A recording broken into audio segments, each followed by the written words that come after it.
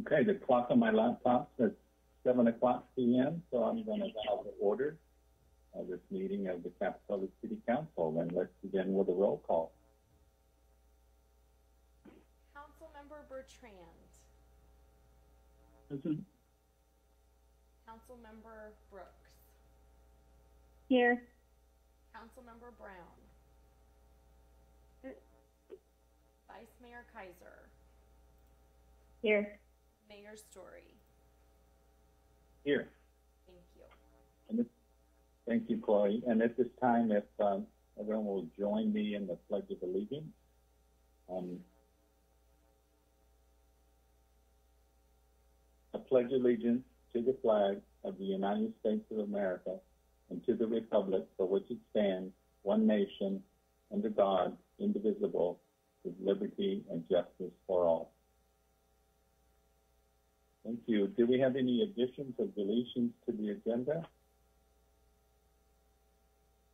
Staff has no changes. Okay, we'll proceed as it stands then. And, um, and at this time, I think we have a very exciting presentation that's going to be given. Um, and, um, who, who will be doing that?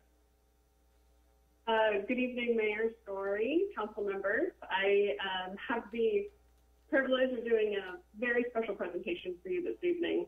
Um, the city and our lifeguards had a very eventful week last week um, that started out with a beat or a boat that ended up on the beach, um, and our wonderful staff Brennan included, assisted in that situation.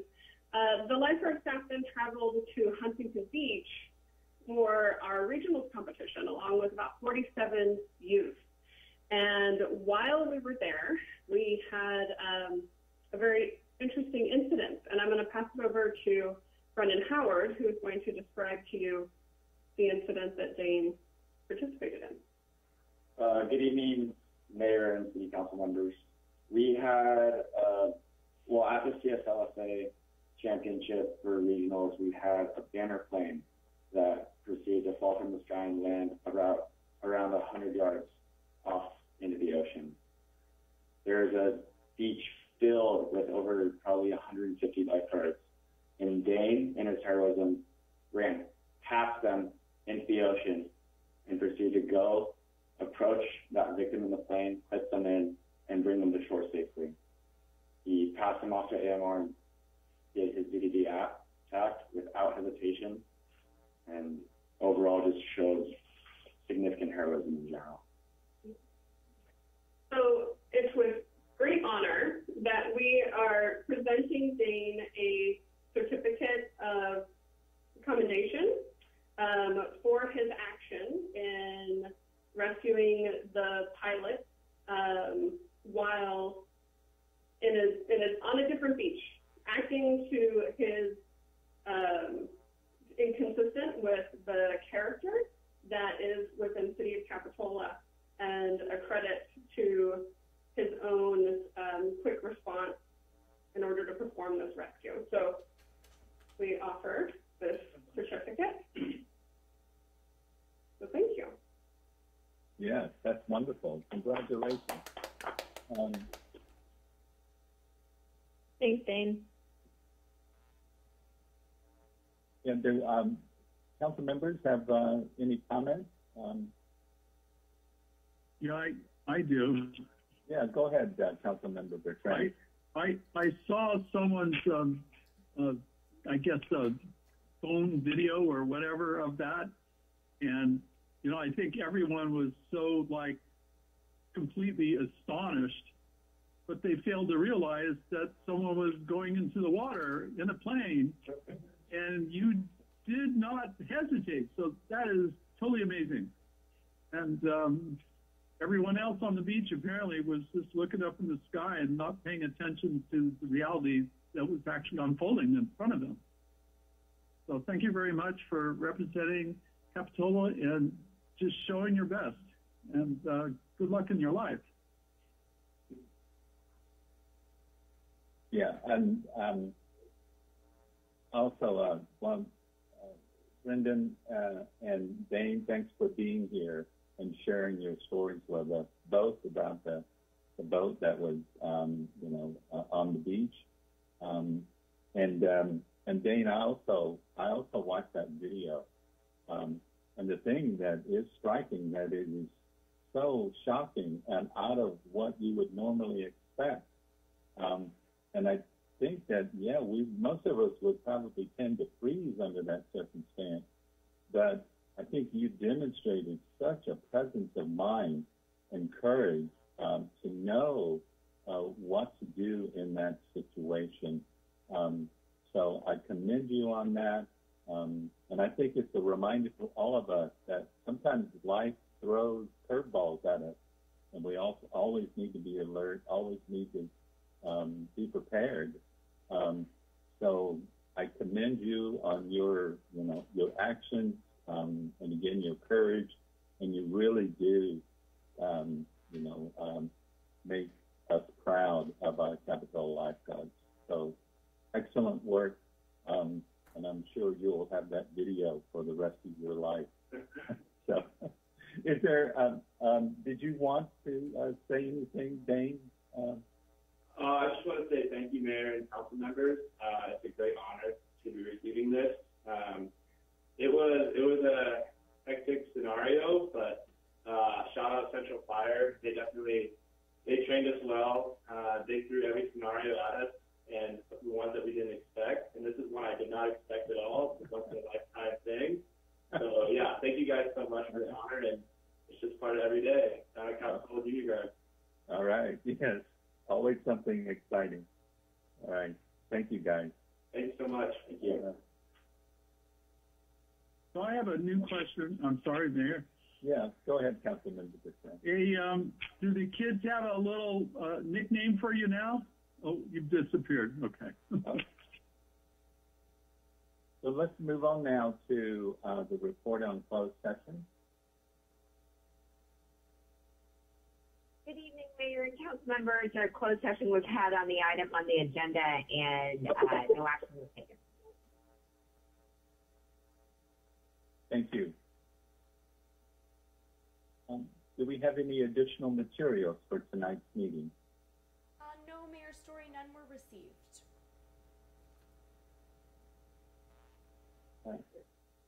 So we'll move on now to oral communications. Um, this is the time when members of the public can address the council on either items that are on the consent agenda or items that are uh, not on tonight's agenda at all. Um, and if you would like to speak, you can raise your hand in Zoom um, or dial star nine. The moderator will give you uh, three minutes to speak and it looks like we have one Zoom hand up. Yes, Mayor Storey, we have Dave Montgomery. Yes, go ahead, Dave.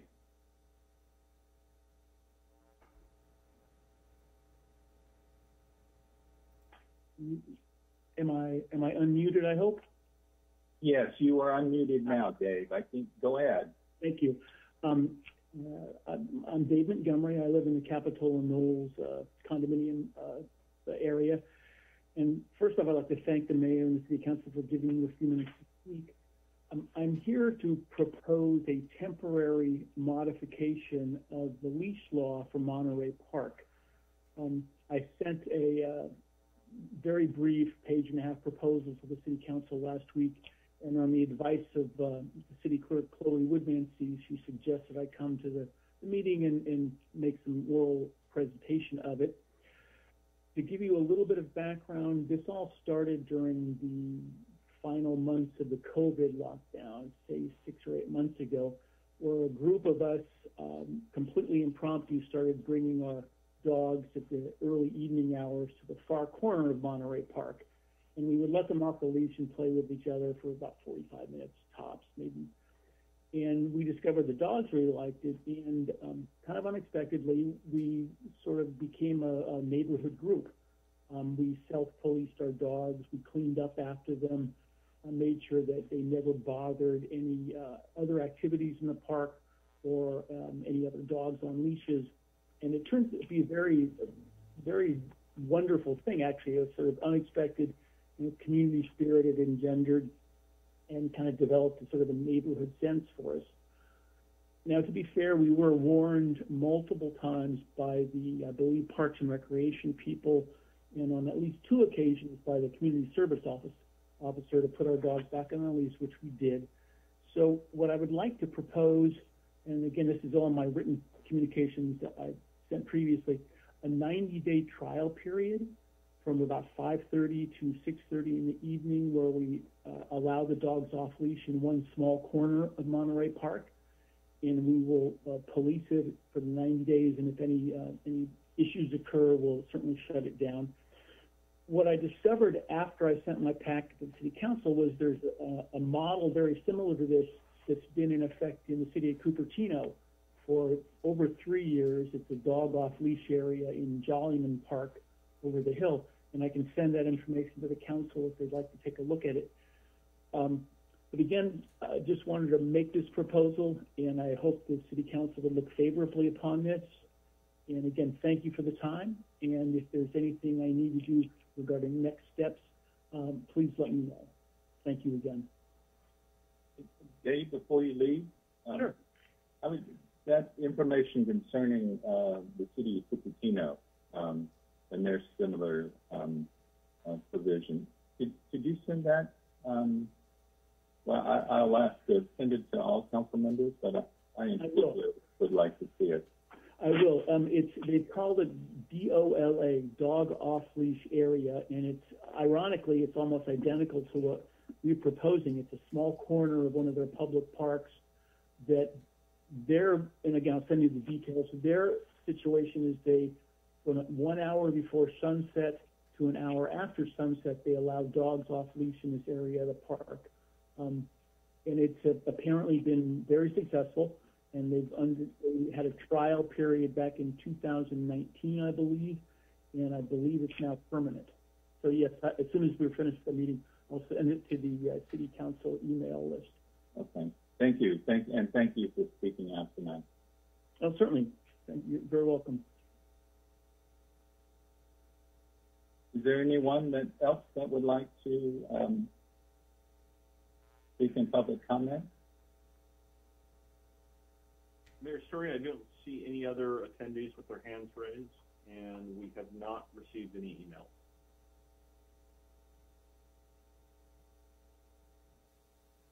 Okay, I'll speak slowly before I move on to see if anyone raises their hands. And not seeing anyone, I'm going to then uh, now move us on to uh, item number seven, which are staff and city council comments. We'll start with staff comments.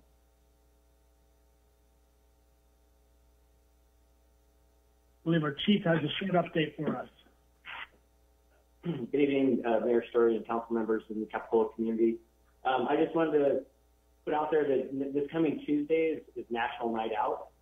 And so, uh, the Police Officers Association is help and the rec department, we're gonna have a little, uh, set up with some sandwiches and some kid activities, uh, up at Jade Street Park this, Jade Street Park this coming Tuesday between five and seven. So we uh, encourage anyone in the community to come out. It's always really well attended and, uh, it'll be a lot of fun. So I just wanted to put that out there this coming Tuesday from five to seven at Jade Street Park. So thank you.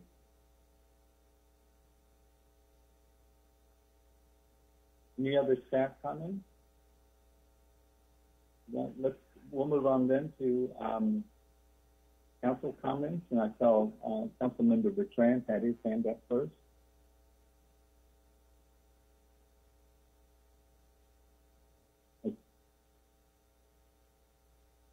You're still on mute, Councilmember Bertrand. Thank you very much. Um, yeah, thank you very much uh, for letting me speak. Let's see. Um, in regards to the recent um, uh, mention from the public on the uh, dog walking thing, um, I'd like to be involved in that discussion because um, I used to walk around that park. I live right across the street pretty much, and um, now I don't. So um, maybe uh, the, the solution they proposes might be uh, beneficial uh, for me and others who used to walk around the park. Um, also, I'd like to comment, I think City Council has received two different um, petitions of people uh, that have signed uh, about certain issues, and I'm following up on both of them. Um, each each person that sent the petition um, to City Council, um, I've talked to, and I'm trying to come up with um, things that I could, uh, I think, propose to the city, you know, for consideration for future agenda items. Um, uh, they're both uh, very, uh, let's say, um, hard to resolve. Um, there should be some finesse in how an agenda item is put before the city council to address them. And I'm trying to take that into consideration. Um, I'm also trying to take into consideration um, how the feelings of the people who submitted the petitions are at this point, and they are very important issues for them. And so I think that's very critical too. Um, maybe some of the other city council members may be already uh, thinking about addressing it before city council as an agenda item. But um, at this point, I'd like to have a few more discussions uh, to frame something to propose as an agenda item. Thank you very much. Thank you, Councilmember Bertrand and Councilmember Brown. Thank you. Um, I wanted to share, you know, as many of you know, I've been um, on the Community Action Board Board of Directors for about seven years now. Um, CAB is the county's designated community action agency with a mission to eliminate poverty and create social change through advocacy and essential services.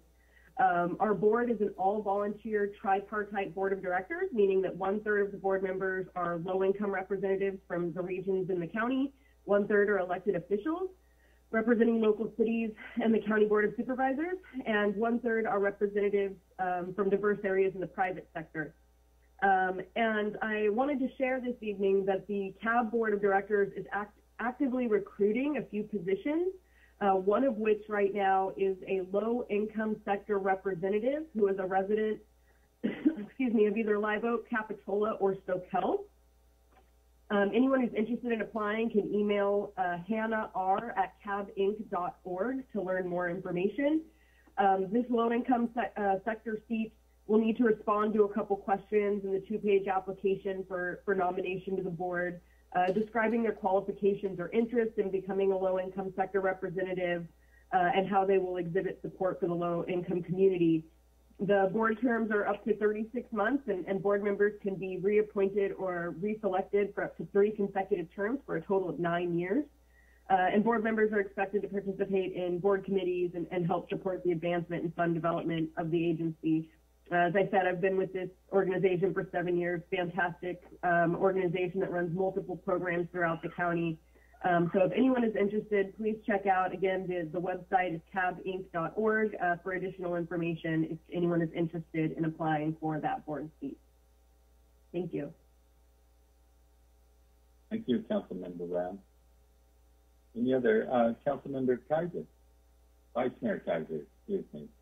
Thanks, Mayor. Uh, I just wanted to make a shout out to um, our awesome city that we live in. We had Wharf to Wharf on Sunday, and it was super fun. It was our first one back in two years, and um, I ran it virtually myself for a couple of years, and then I was uh, participating this year, and it just was really great to have um, some cheer cheer along the lines. like it's way different running that way than not.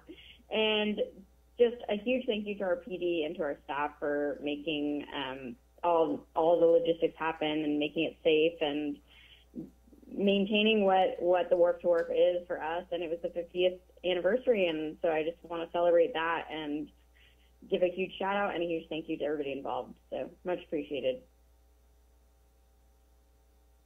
Thank you, Vice Mayor Keiser, and good job running the Wharf to Wharf. Um, any other council members have comments? Um, Councilmember Bertrand, your hand is up again, or? I, I couldn't help but re- resist, but um, I guess, Margo, you may not have won the race. You may not have run as fast as you could have possibly to win it, but Kristen was the one that gave out the award for the fastest race. So thank you, Kristen, for representing Capitola. Yes, thank you, Kristen. I was happy to be there on behalf of Mayor Storey and, and all of us uh, on the council. Um, it was nice to, to be there that morning. Yes, yes. Thank you for filling in for me. Um, well, seeing no other council members with comments, um, I have a, a couple of comments. I wanted to, one, um, report back to the, uh, council and the public on the last Arts Commission meeting, which happened on July the twelfth, and just, um, focusing on some of the public art, um, projects that the commission has, um, on its agenda. Um, one, um, the stump project, we call it, from the fallen tree and the large stump that's in the lower parking lot. Um, we have continued to call the artists for that project, and we'll still be looking for um, ideas and uh, proposal from artists of of how we could, um, you know, beautify that parking lot. Uh, we also discussed um, developing a call to artists for um, a project for the Monterey um, Avenue handrail, um, you know, the one that goes up Monterey Avenue uh, from the village up to uh, Escalona. And, um, and third, uh, we discussed um, having a Begonia commemorative uh, public art um, there uh, just on the other side of the Stockton um, um, Bridge. Um, and so, yeah, continue to look out for those uh, projects as they should be uh, actually coming to fruition. And and I think on a, also on a personal note, I think many of you may already know this, but I wanted to publicly announce, um, you know, my term is ending. I would be up for re-election, but for personal reasons, I've decided not to run for re-election um, in this next cycle. Um, uh, and um, I do want to encourage, um, you know, anyone uh, who has ever thought or is interested in running for Capitola City Council um, that you, um, you know, look at this and um, um, this is now your opportunity to maybe um, run for this position. It's very re- rewarding. Um, and if you're interested, just uh, contact uh, uh, our city clerk, Chloe Woodmansee, uh, and she can give you all the details and things that you need to do. Um, so with that, let's um, continue on with the business of the evening. And the next is um, our consent items. Um, these are items that will be handled with uh, one vote, um, unless uh, a council member um, selects uh, one to be taken off for further discussion. Are there any uh, items that the council would like to um, uh, move off the consent agenda? Seeing none, I'll um, entertain a motion to um, approve the consent agenda. Yes, Councilmember Brooks. I move to approve the consent agenda. And second that. There's a motion by Councilmember Brooks and a second by Vice Mayor Keiser. So we have a roll call vote, please. Councilmember Bertrand. I approve. Councilmember Brooks. Aye. Councilmember Brown. Aye. Vice Mayor Keiser. Aye. Mayor Storey. Aye. And the consent uh, items passed unanimously, which brings us to general government public hearings for the evening. Uh, the first is item A, which is a review of the Rispin Mansion Park project and consider authorizing advertising for bids. The recommended action is to approve plans, specifications, and budget for construction of the Rispin Mansion Park authorize advertising the project to receive bids setting the opening date for September 7th, 2022, and approve the proposed resolution amending the budget by transferring 30000 from the general fund to the Rispin Mansion Park project. We have a Staff report, please. We do. Good evening, Mayor Storey and Council. I'm very excited to uh, finally bring this project to this stage. This is uh, a very long project that's gone through lots of ups and downs, and uh, we're finally bidding it out. We're all quite excited. I'm going to try and uh, share my screen here if I can.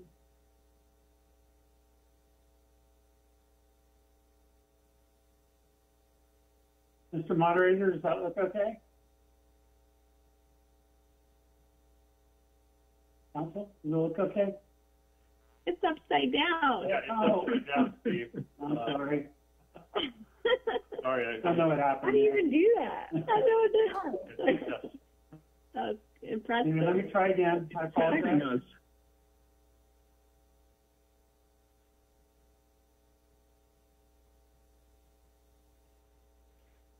Actually, that's not any better, is it? That's even worse, Steve. What's going on?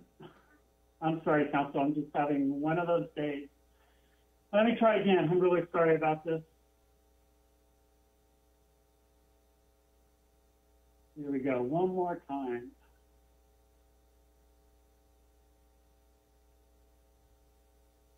There we go. So Larry, this question is for you. Does that look okay? Um, it's a golf course, so it looks great to me. How about that, Larry? Uh, no, that's, that's the back, yes, your background, that also looks great.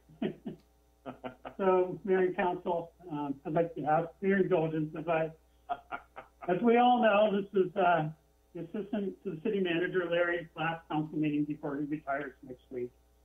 And, uh, the city manager and other department heads have gotten together and, um, we have a few pictures to share with you tonight as part of this item.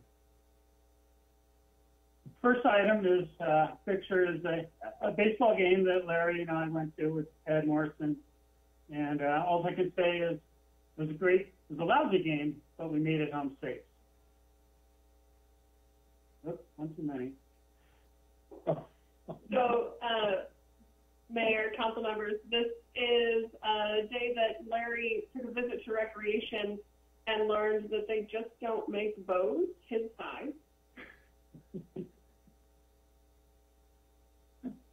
All right. Mayor and council, this is our favorite day at City Hall when Mama Duck and her babies need to cross the road and take them to, to their safety.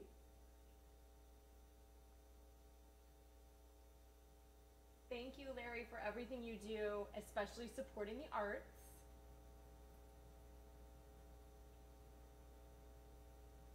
And Larry, as uh, Donnie would say, you are the walrus.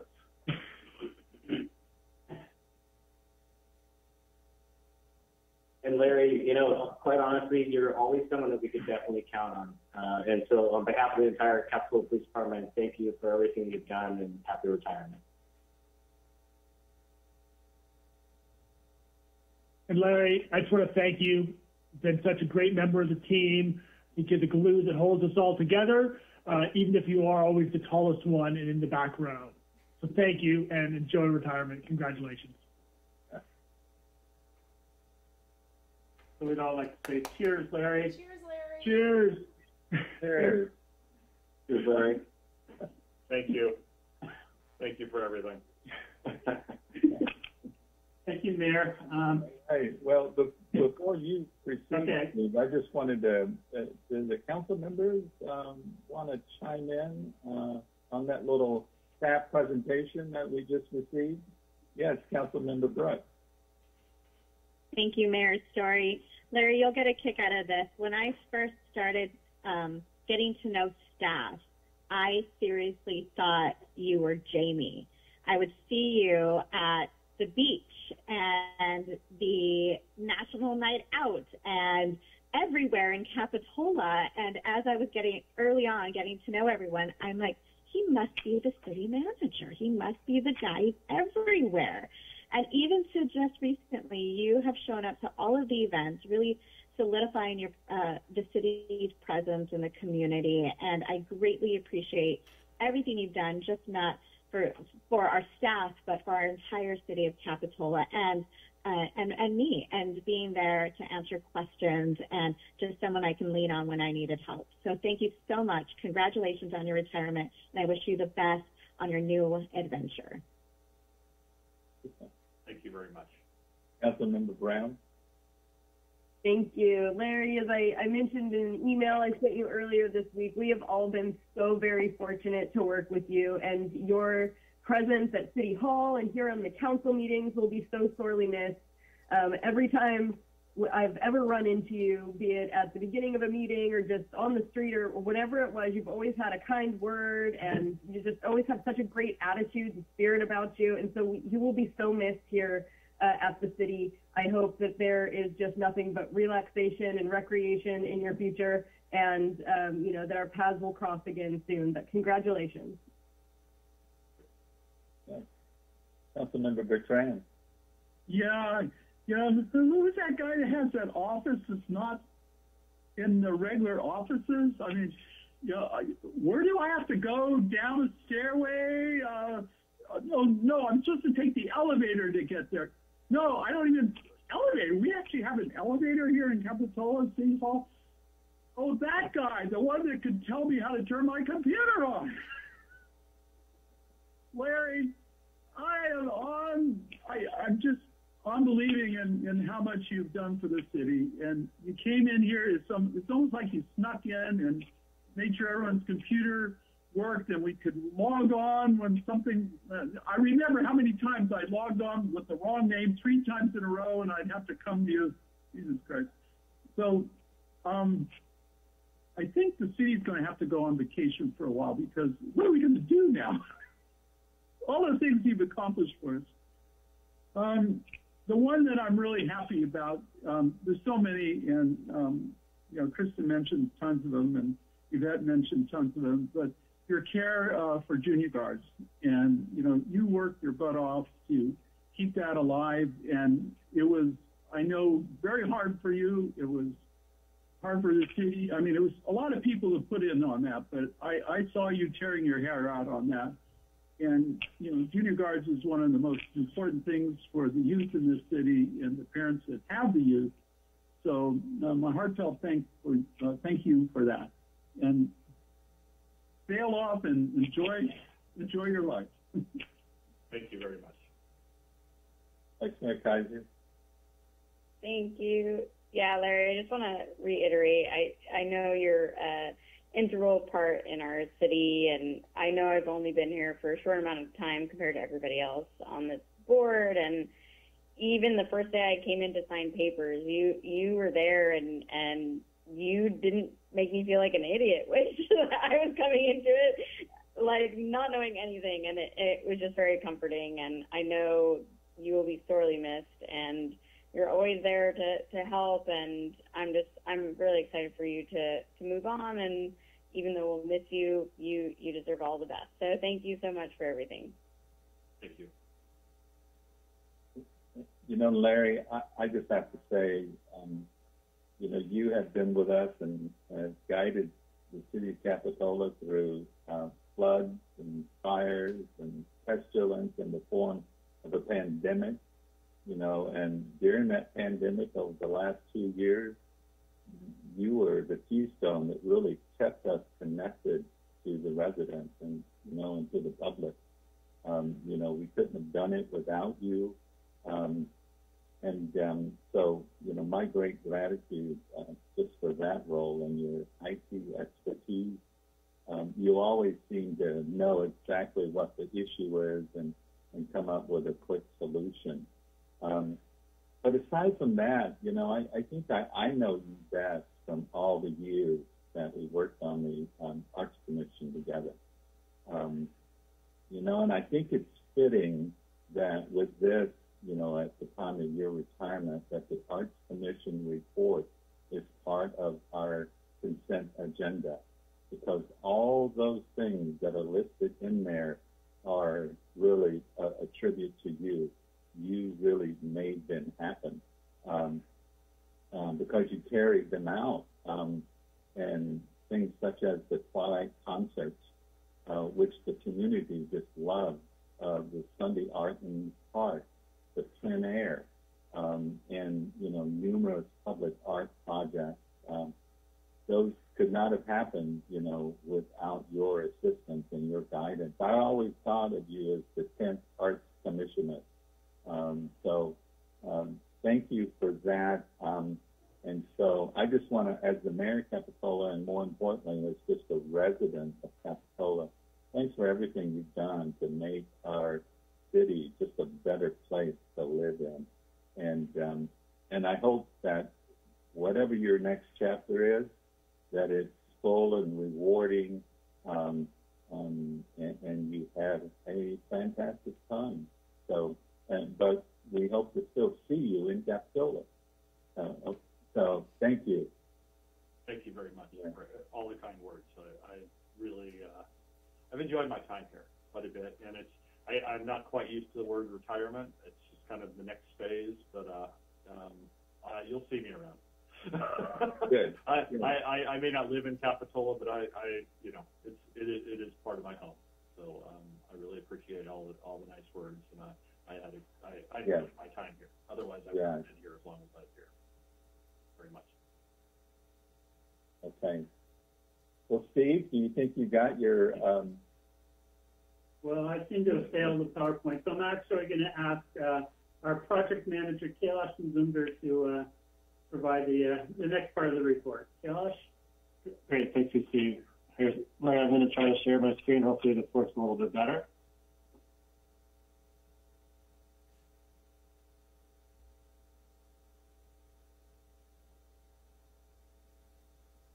How does that look?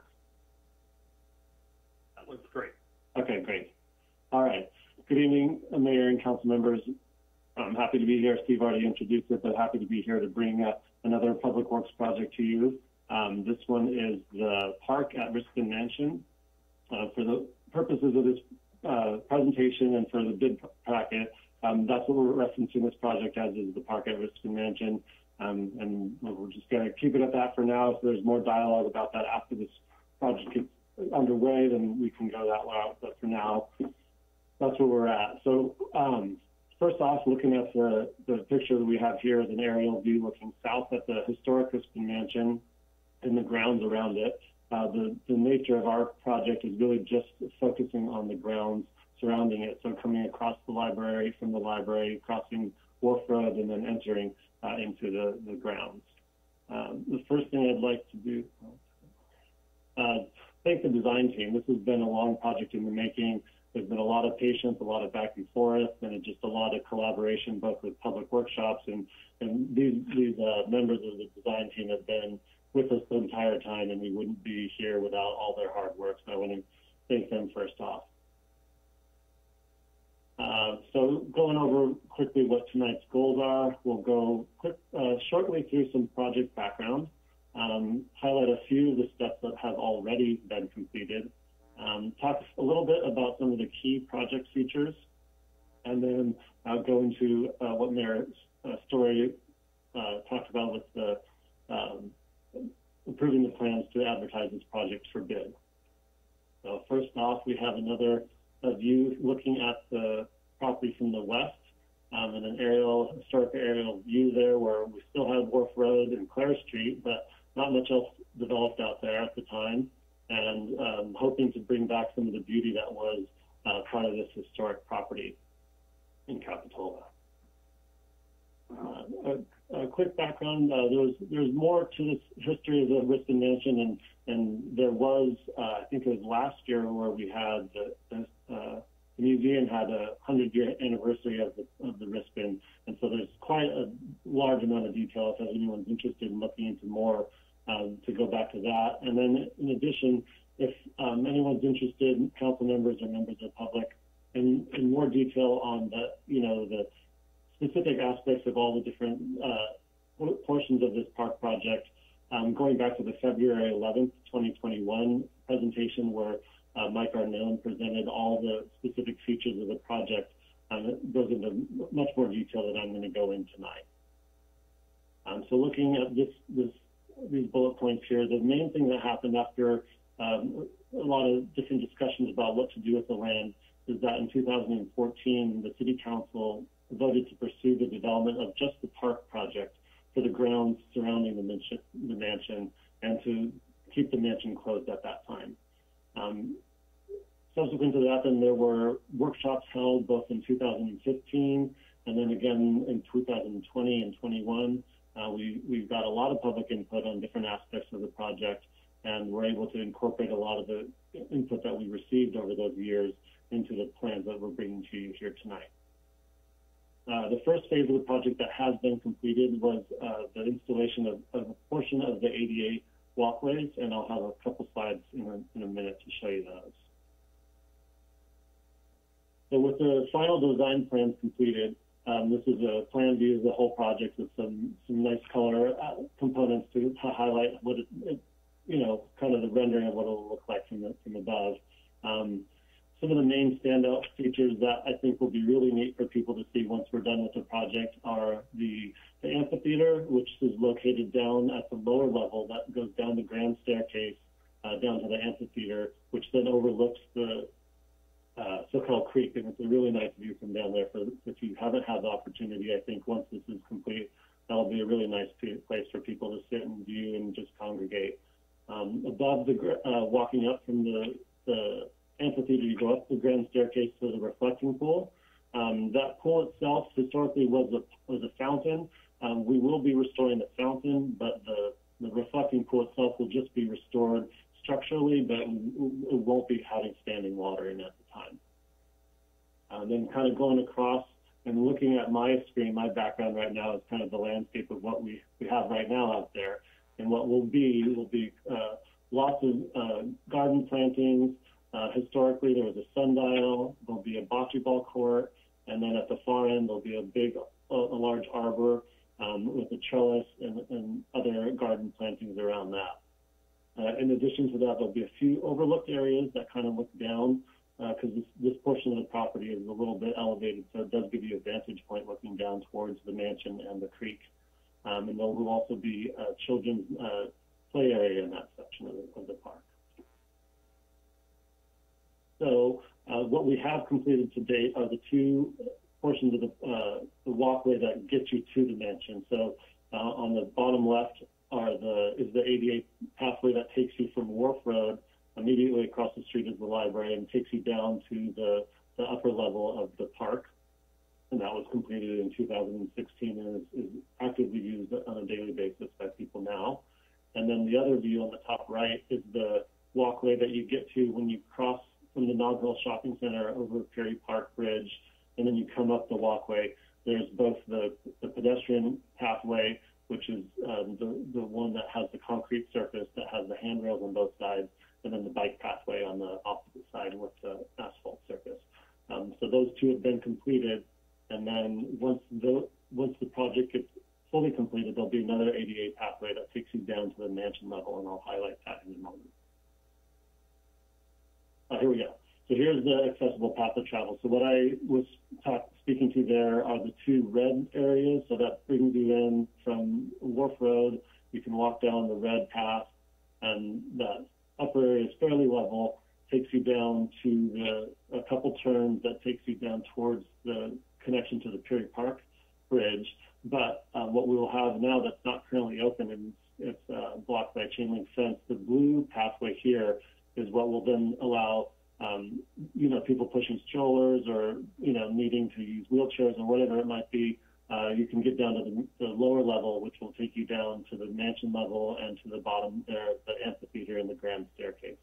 And I think, um, you know, I'm maybe partial that I think some of the best walks we've got in town are walking through Peery Park area and walking to the end of the wharf. And I think this will enhance this walk even more for anyone who wants to stroll through this portion of town.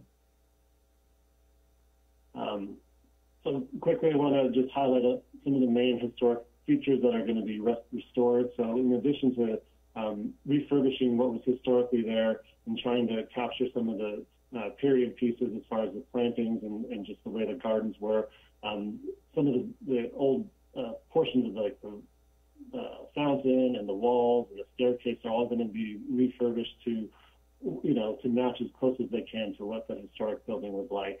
And then in addition to the historic features, there will be new park features that kind of um, complement some of these, these pieces that were there previously.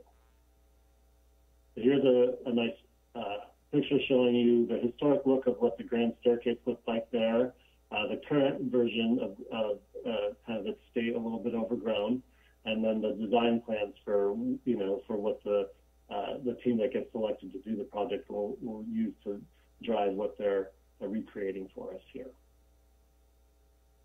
Um, the new park elements are, are things such as lighting, um, the amphitheater, the Bocce ball court, the, the play area, and just you know, just making it more of a little bit more of a modern more modern park with uh, water fountains and bike racks and things of that nature that just make it a little bit easier for everyone to enjoy the park. The amphitheater is something that we're very excited about. This is going to be located um, so in that in the color picture on the right, kind of the, the grassy hillside, that area there is what's going to get filled in with the amphitheater, um, and it'll provide a nice venue for you know, congregating maybe events. I, you know, we're, I guess we'll see what we end up having here, but I think it's going to be a really nice uh, platform for people to use for years to come. And some of the other new elements that are coming in are the, the fencing, the which is shown in red. So there'll be new fencing along the Fort Worth, Wharf Road frontage, and then wrapping around the reflecting pool and down towards um, the the mansion itself. Those there there are gates on those, and those will be open sunrise to sunset, just like the rest of our other parks in town. Um, the purple area that is highlighted on the frontage of Wharf Road, um, it may or may not be something that you notice right now when you drive by, but there's a really nice wall that's there. But because of the height of the wall, um, it precludes people from being able to see into the park. And so one of the comments and one of the goals of the project was to be able to make it a little bit more visible, both for people to know that it's there and just, you know, just brightening it up a little bit. So the plan is to cut down a portion of that wall and put in wrought iron fencing instead. So there's more light that goes through, it's more visible. And so the, the image on the bottom half is, is the, is looking at that purple wall um, section there. And so there'll be an entrance from the new library and the crosswalks going across from the library, and then you'll enter there uh, at the existing ADA ramp, and then that's where you'll you'll have access to the whole park. And then the lighting, we have a number of new lights that will go in because um, one one comment that we had from quite a few folks when we had our public workshops was that there was a concern about making sure that it was you know felt safe for people to walk through, um, understanding that you know although the park some of the park may be closed, it's still a path that lots of people use you know, day and night. And so we wanted to be able to provide that. So there'll be that lighting um, features there. Um, the planting plan. So this is something again that we got a lot of nice input from our workshops. Um, a few people highlighted some of the historic plantings that had been known to be in this area, and so uh, working with our landscape architect Mike Arnone, we were able to uh, kind of pick and choose some of the, the things that were selected, and then all with the native plantings from just kind of native California plants, and then as well as complementing that with some of the, the historic violet plantings that are known to have been used during, think, the period when the when the nuns occupied the property. Um, and then in addition, because the property is right next to a um, uh, known area for monarch butterflies, there's going to be a number of areas where nectar sources for monarchs will be. So I think during the springtime, that'll be a nice place to, you know, view birds and butterflies and just have, have a nice stroll through the park. Uh, there are a few future park elements that haven't fully been fleshed out. Most of these are being uh, will probably be worked on with the, uh, the Arts Commission. Um, the first one that I wanted to highlight were the informational signs. So there's we have five locations selected for signage. Um, two of those are on pedestals, so the, the project will build the pedestal, but we um, we're we're in the in the works of de determining what the information and what those actual signs will be. Um, so those are those are things that have that aren't fully completed at this point, but will be will be completed soon after the project is, is constructed. Um, one other idea that was you know, part of the, the project from a, a, long time back was having the idea of having some mural locations. So um, the idea there would be that, you know, there's these, the, the little red sections on the mansion themselves are where there's existing windows that have been walled in. And the idea there would be to add some life to the building and put some kind of uh, living looking murals with, you know, either scenes of music being played or, you know, ballroom dining or dancing and things of that nature. So there's a lot of different ideas out there, and this is something that um, the idea is to work with the Arts Commission and um, make some decisions on what we may or may not want to put on these areas. But these are the areas that have been highlighted as potential locations for, for murals, um, and, and that's another portion of the project that will have to be completed uh, after the construction is done in, in coordination with the Arts Commission. Here's a few of the concepts for what had been uh, talked about during um, previous workshops and, and in brainstorming what might be uh, appropriate in these locations. And then the last thing I think I spoke to at the beginning was the reflecting pool. So the pool itself, everything will be refurbished. Um, and it, you know, we may decide that that's the state that it should stay in, but it's also an opportunity to potentially, you know, put a sculpture of some prominent person from Capitola or, you know, something that looks like a living or, you know, active water feature, um, and then some mosaic tile down on the bottom of the, of the reflecting pool. Um, that, that's also another piece that's to be determined and it may or may not be something that we go after right away, but it, the, the uh, Guess the canvas will be there for, for the future. And so getting into the, the uh, details here, so funding for this project, um, we have a few funding sources. Uh, we were awarded a state parks grant um, in 2020 or 21 um, for just around $178,000. Um, there have been quite a number of general fund allocations over the years, um, up to the amount of about 756,000. And right now, uh, based off of our, our most you know accurate estimate that we were able to come up with, um, this is a little bit of an interesting project to, to estimate prices, but I, we're, we're as confident as we've been in, in, in here now that this is what we think the budget should be for the project. Um, and with that, that's why we do have a proposed budget amendment of $30,000 to bring us to the total uh, expected project cost of $964,000. Um, so the plan, if, if approved tonight, the plan would be to take this project, advertise for bids starting as soon as we can, and then have bid opening in the month of September with the contract award then the month of October, and then construction to start this coming spring. And I think with that, um, I've put up the recommended actions and happy to take any questions or comments from, from council.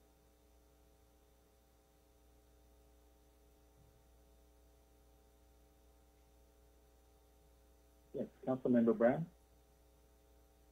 Thank you. I'm just curious, it said construction would start in, in uh, spring of next year. How long do we anticipate it's going to take? So this is a project, I think we're, we're anticipating this being done before the fall if we start in the spring. Great, thank you.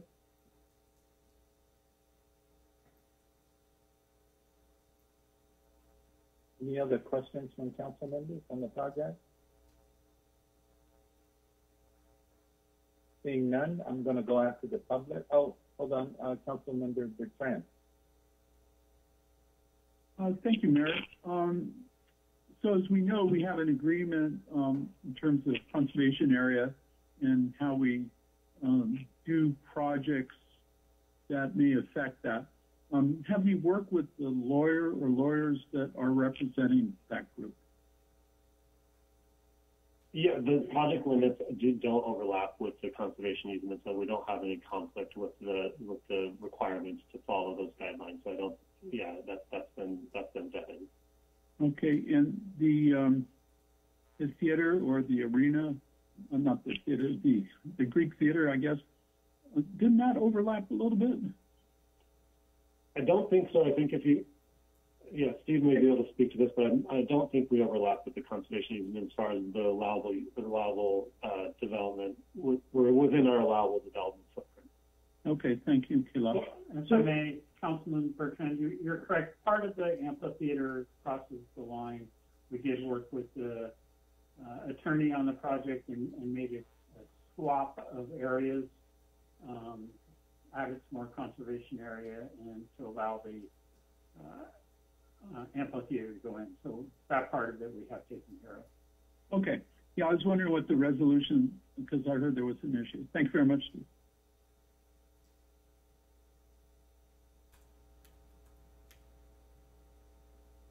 have the questions from council members?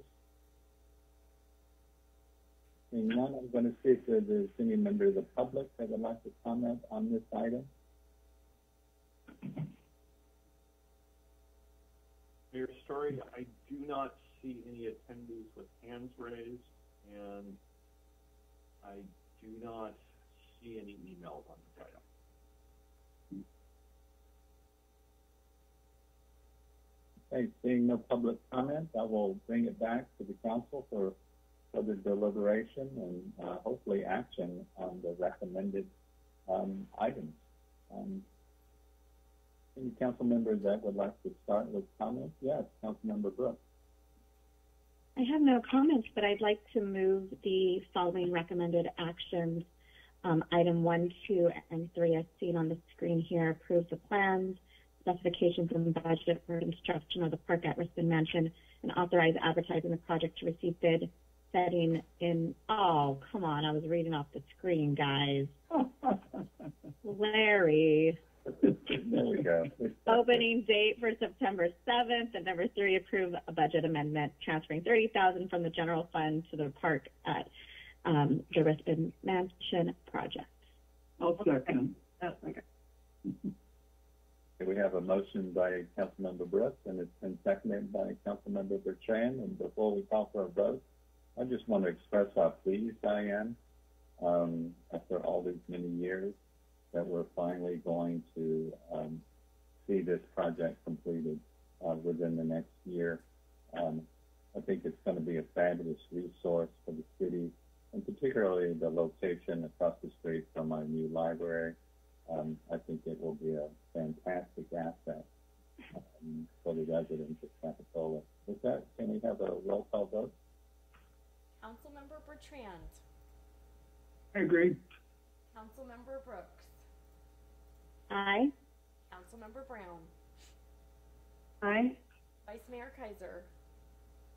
Aye. And Mayor Storey. An enthusiastic aye.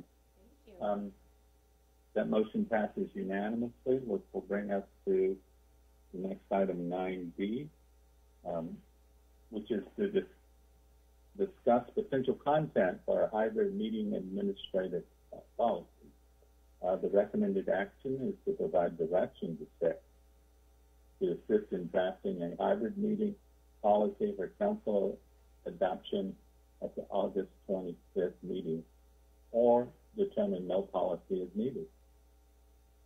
Can we have a staff um, presentation? Yes.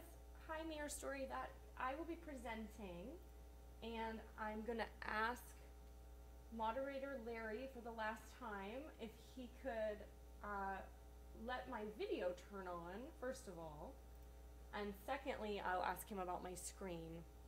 Um, okay. Here I am. Okay. Thank you. Thank you, Larry. And one moment. Thank you for your patience. Are you seeing the slides? It looks good. Okay, great. Thank you so much. Thank you, uh, Mayor and Council, for your patience.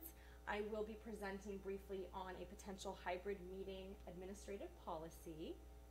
And as I'm sure you recall, we um, are currently operating under Assembly Bill 361.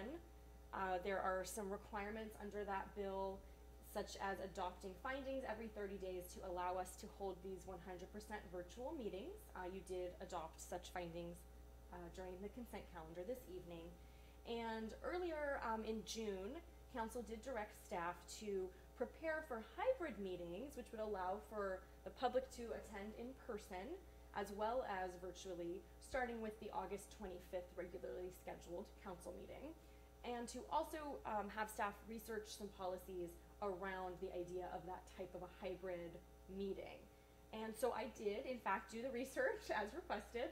And uh, to be honest, there are not a lot of city admin policies out there about this type of a meeting. Um, they're pretty new, and it seems like generally speaking, city staff is kind of figuring it out and, you know, moving forward, but hasn't put much into writing yet. I did find the town of Los Gatos, so a nearby um, town, did just amend their regular meeting policy with some stipulations for remote attendance of council members. In that example, they added um, guidelines that limited remote attendance for individual council members no more than two times in a row and um, why a council member might attend in that way. So in, in this example, they needed a council member to either be ill or be away from the area due to business or council business, and that um, they really wanted to have a quorum of council members present in the town for meetings. So that's just an example of what a somewhat um, local area has done. Uh, moving on from that, just kind of a reminder so um, the hybrid meeting idea, again, that you were um, suggesting for August 25th, would be for members of the public. Uh, not much will really change. If those choose to attend um, using Zoom, they can the same way that we've been doing now for more than two years, or uh, they will be able to come in person, as you know everyone did pre 2020 pretty much the same as you know back to usual. So that is kind of the idea is public can decide how they'd like to attend based on their comfort level. And we could implement some safety precautions um, as we go. For council it's a similar idea but it's a little different based on our broadcasting and our technology so if council members choose to attend remotely with some members of council here in the room the the visuals might be a little different. So those attending from home won't necessarily be seeing each individual staff member and each council member as you're used to now with Zoom. It would be more of a full room view. I, I keep calling it like the C-SPAN view of just kind of the room at large. So just something to consider. And then, of course, with council attending remotely, we would continue following the Assembly Bill 361 requirements, which we've been doing now, not an issue.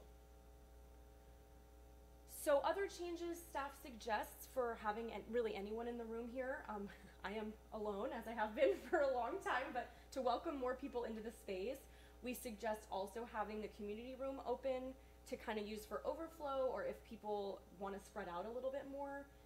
And then the really the biggest change would be um, public comment and oral communications will be allowed um, as they are now verbally. So if someone is here present in the room, they could speak at the podium, or um, if someone has signed in via, via Zoom, they could speak through the Zoom application or over the phone. However, we suggest really to kind of keep things clear to no longer accept written or emailed public comment. We really noticed um, it's been confusing for members of the public and for staff to explain the difference between a written public comment during the meeting versus a written public comment before the meeting and what gets read into the record and what doesn't. So we think this really will streamline that and still allow for much participation from the public, which of course is our goal. Now, all of that being said, if council decides and, and wants an administrative policy, the idea would be to discuss that this evening, share your thoughts, and staff will draft a potential policy to be brought back at the August 25th meeting for um, approval. And we kind of outlined some ideas here for you regarding council member attendance, certainly setting in some guidelines or expectations, maybe what you would like to do, limiting how many members can attend remotely, or how often, or if there's requirements around that. And then another area that you may want to consider um, are just any kind of COVID-19 precautions. If you're interested, we could get those, you know, written into an official policy, such as masking requirements, social distancing, any other kind of thoughts you may have. So that's help, hoping to help with the discussion this evening, this slide. And also just to, to note, the assembly bill does not expire until the end of 2023 as long as there's an emergency declaration by the governor in place so there's certainly um, it's certainly allowed for us to continue meeting as we are now which is 100% virtual which does allow for the, the visuals to be kind of what we're used to and what we've been doing for so long so just wanted to throw that information out as well and um, as a reminder, when when this was first kind of brought up in early June, our COVID numbers were really going down, and we were very excited. And as I'm sure we're all aware and have seen in the news and just heard anecdotally, things have kind of started to go back up again. So just wanted to put that in the presentation and it was mentioned in the staff report. So all of that being said, our recommendation this evening is for council to kind of decide whether you'd like staff to draft an admin policy, and if so, provide us some direction on what you'd like the content to be, or let us know if you feel that no official policy is necessary. That's absolutely up to you. So if you have any questions or you know wanting help with that discussion, just let me know. I will try to answer them. And that is the conclusion of the presentation. Thank you so much.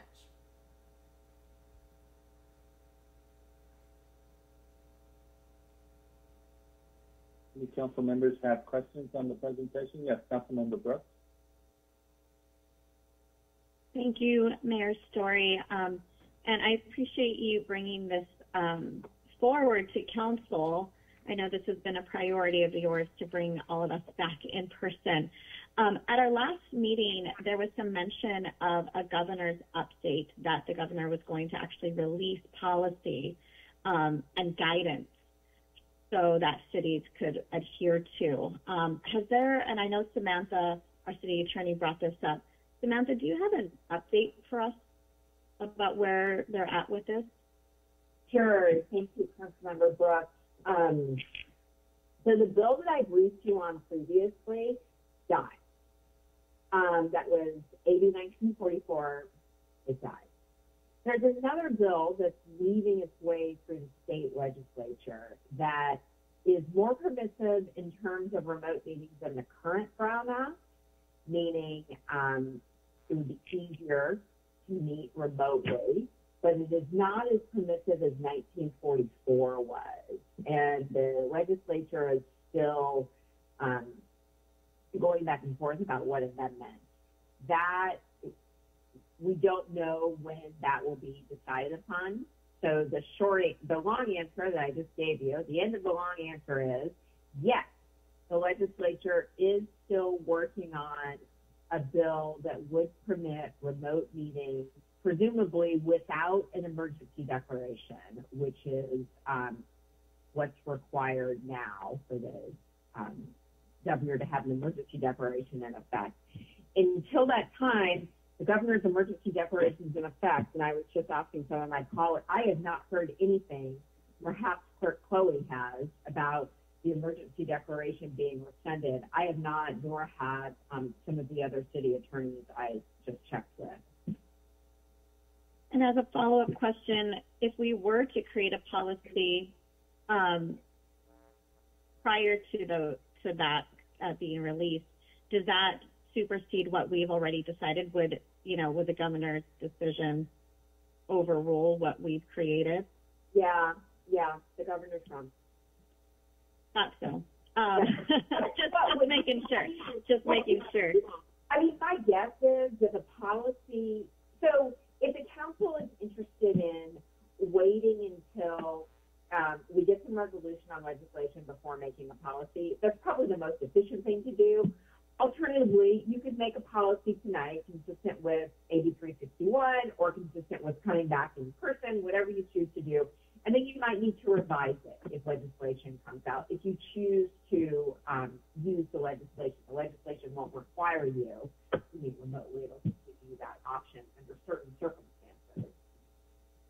And as, as my last question, uh, Mayor Storey, is there any issue of approving a policy at the August 25th meeting while we're all in person that in regards to the hybrid, you know, like before even making those, is there any problem with doing something like that or and us needing to extend while approving it in August 25th virtually and then implementing it in the September meeting?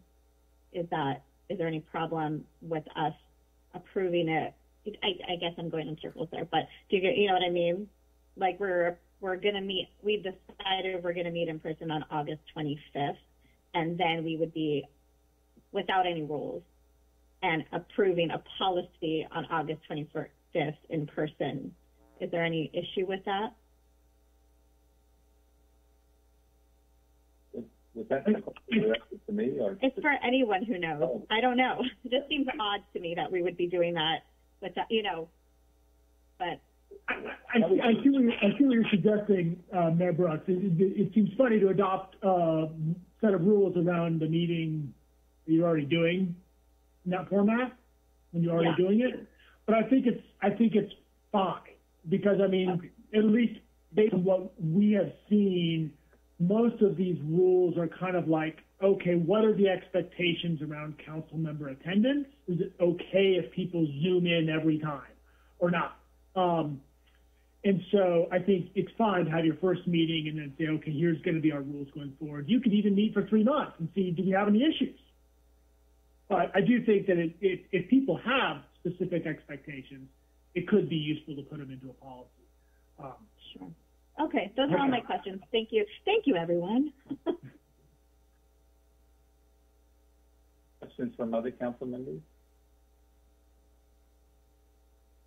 Seeing none, um, I had a question concerning, uh, the votes. I, I know during Zoom, we were required to do roll call votes on literally everything. Um, does that continue in the hybrid context, or is that more liberal?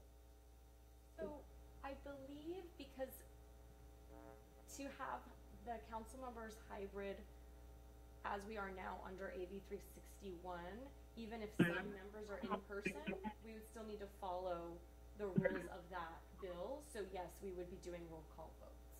And if I'm wrong, I know the attorney will correct me, and that is totally fine. Okay. It looks like, yeah, it looks like she's agreeing with you, and Thank so. you. Um, okay, thank, thank you for answering my question.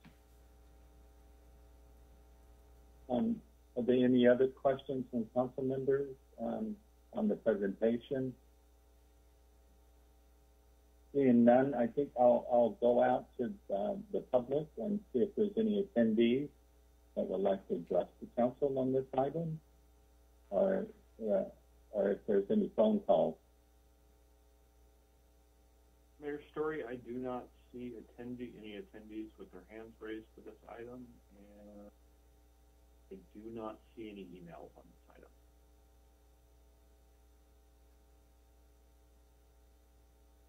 Okay, well, I'll bring it back, um, uh, for further council, uh, deliberation and, uh, and decision. Uh, Councilmember Brown. Thank you. Uh, I just had a, a couple thoughts. Um, my first thought was about the limitation on how many members can attend remotely. I think, if anything, we should also consider having limitations on how many members should be in the chambers together at the same time. I think it would be important for us to have some kind of social distancing uh, in place still. Um, I'm currently battling COVID, and it's no fun.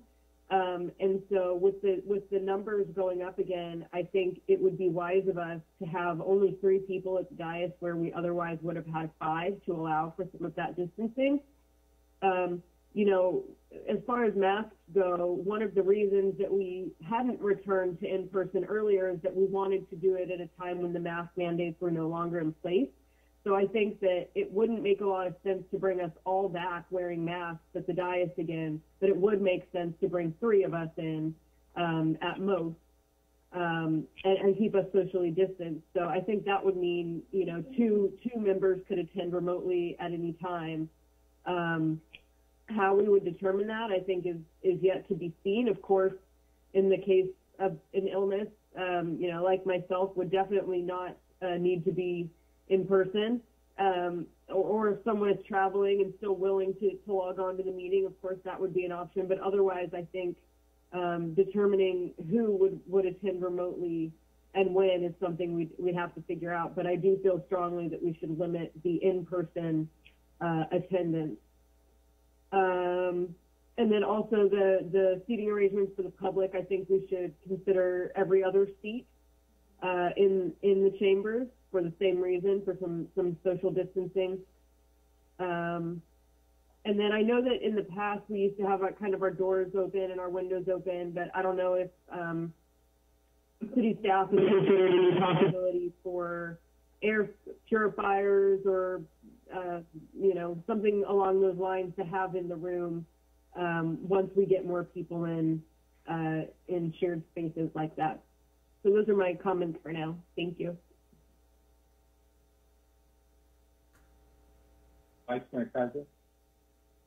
Yeah, thank you. Um, I want to piggyback on some of what Kristen said, at least about um, the distancing and the amount of um, council members in chambers at one time.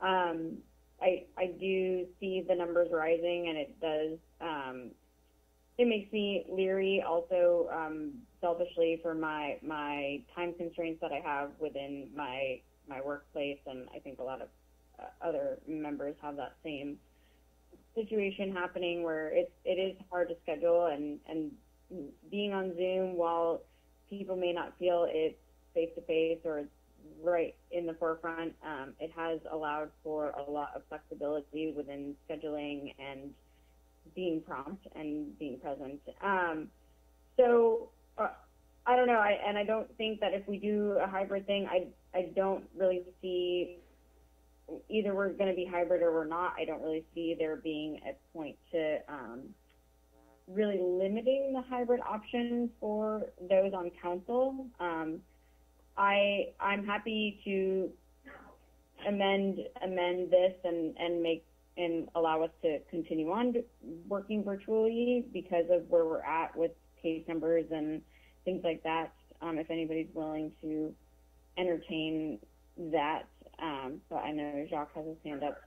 I I want to hear him out as well. Those are just my personal comments and feelings where I'm at. Um, I I would prefer the option to to zoom in on the regular if possible. Thank you.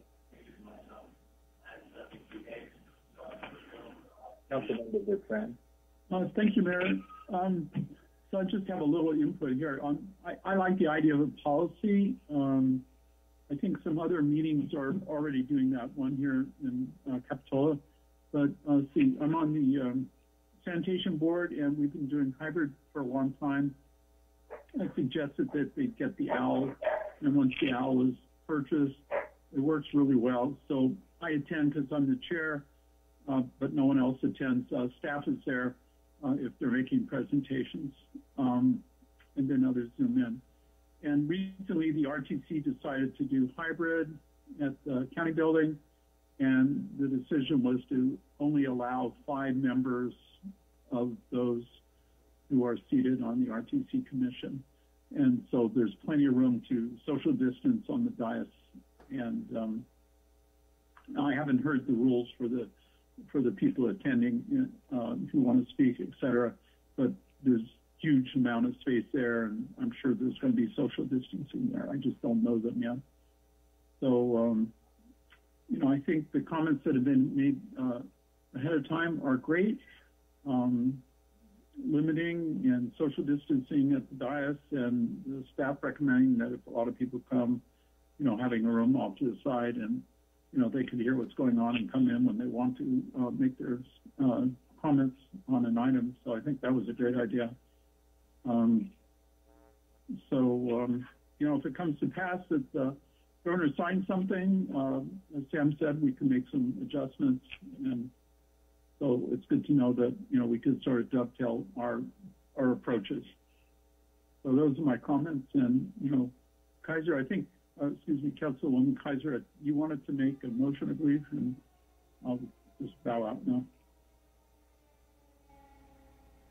Thanks. Yeah, I mean, I think all that I said was that I am willing to make a motion to move forward virtually just based on numbers and um, other things that I brought up before, if anybody else is willing to entertain that. So, so you just want virtual, non-hybrid? Oh, hy- hybrid's fine. Um, I just was stating too that like it, I I don't see putting putting a limitation necessarily on the hybrid option.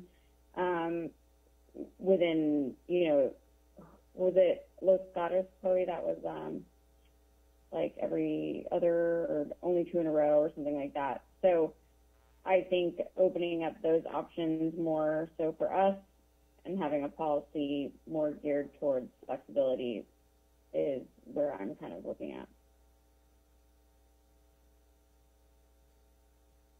Is that a motion or is that just directing to staff? Um, well, I would say I would make a motion to move on virtually unless we want to move hybrid, but uh, not have the limitations such as stated in the early part of the presentation. Um, if other council members want to join virtually but not have a restriction as to how many in a row. There a second to that motion? Councilmember Brooks? Um, I'm not prepared to make a second on that motion yet, but I, I just want to seek some clarification. You know, I think for the most part, we what we're all agreed upon and what we did agree upon is that we want to come back in person. We want to offer a hybrid model, and I'm 100% completely behind that. I know that our community needs a space to gather, and they want to be in person, and they want to be able to talk to somebody. And I most certainly respect that, and think we need to to offer that. Um, to to Vice Mayor Mark uh, Keiser's point, um, I think limit uh, the best way I can say this is that I think every council member should be able to, at their discretion, decide whether they want to attend or not. We all have different scenarios. We all have different, you know, are more vulnerable uh, to to the to the COVID or health issues or family issues or whatever. I think every council member should most certainly have the opportunity to choose or not to choose. I think what we need tonight, um, I would suggest moving forward with continuing um, with the hybrid model and at uh, no more than three council members meeting in person at one time for safety precautions. That will allow, in, in terms of our chamber space for us in our seating, um, but no more than three. This might be a little bit of a nightmare for our uh, for our city manager here, um, and I most certainly I saw you turn on your camera like that. But um, there might be a different way to to to say that. But what I mean is, I think every council member should be able to choose right now, especially with the numbers going up. What Councilmember Brown just said, she's ha- she has it right now. Um, you know, everyone's experiencing different things, but I do want to create space for our community and our constituents to be able to come to and, and have someone there. Um, so I think any feedback before I formalize that as a motion, um, I don't know that we need to create, oh, and I don't think we need to create a policy. I think uh, we can just create some general governance right now until we get further um, information from the governor's office, since there's nobody else really creating these formal rules and going back and forth. I don't, um, I guess this would be a question for staff if we actually need to even create something so formally, but just for the meantime, say this is what we're going to do. Um, I, I'm looking for an answer there. To answer that question, there is no urgent need to create a policy. I think you're perfectly fine giving us direction. Uh, Great. Based on kind of the concept you outlined, the only question I would have would be, is staff responsible for picking, or is, is the idea that any council member can attend in person? I guess just a little bit more about what do we do if four council meeting members show up at the meeting? You know, how, how would yeah, we? no, I, Yeah. I don't, I don't have the answer, and, and I see other hands going up. Maybe someone can make a suggestion on how we could manage that better. But I do want to give council members the opportunity to choose, you know, um, and and be able to do so. Um, Councilmember Brown?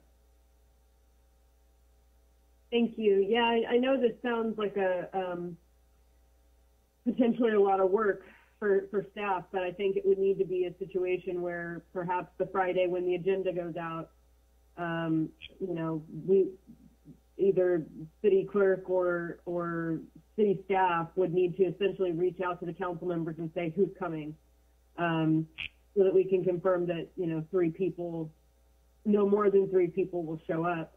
And then I guess the other question that I have is, do we also have a floor of how many people would need to be there for it to be worth essentially opening City Hall for? If we have um, you know, two people that are sick and two people that want to zoom in, and then there's only one person that's, that's at the dais, is that a reason for us to open City Hall and have staff there?